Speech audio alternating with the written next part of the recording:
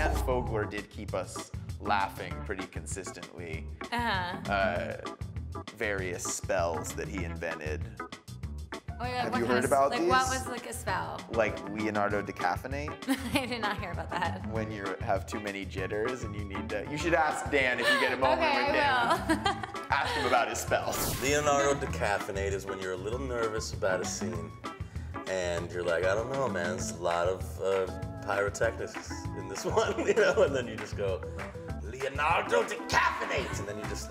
Uh, chill out.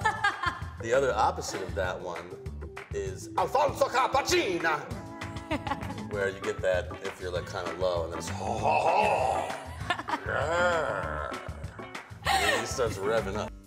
Eddie, I had a lot of moments where I was doing on camera work and Eddie was performing harder and with more intent than he had been in his coverage simply to give me material to work with and respond to, giving me options, asking me what I need. His, you know, his reputation for being one of the kindest human beings in the universe comes from a very real place.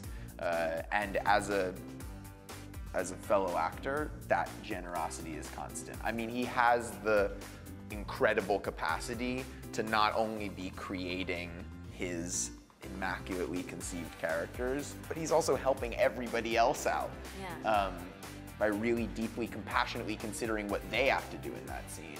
It's not always the case, and it's an amazing gift.